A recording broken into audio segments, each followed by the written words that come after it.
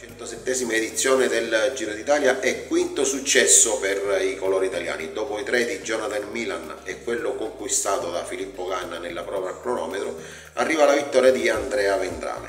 Gran bella vittoria da parte del Veneto che è giunto tutto solo sul traguardo di Zappata a conclusione di una eh, azione iniziata a 30 km dal traguardo.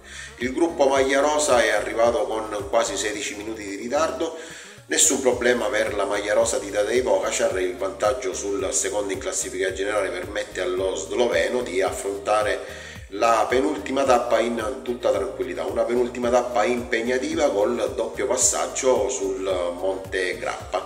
Ci sarà da vedere chi affiancherà Tadej Pogacar sul podio finale di Roma perché tanto per scontato la vittoria del portacolori della UAE ci sono altri 4-5 corridori che potrebbero ambire al successo finale. Un giro quanto mai avvincente e da seguire fino all'ultima frazione. Seguite sempre il Giro d'Italia, dunque rispettate i ciclisti e vive il ciclismo sempre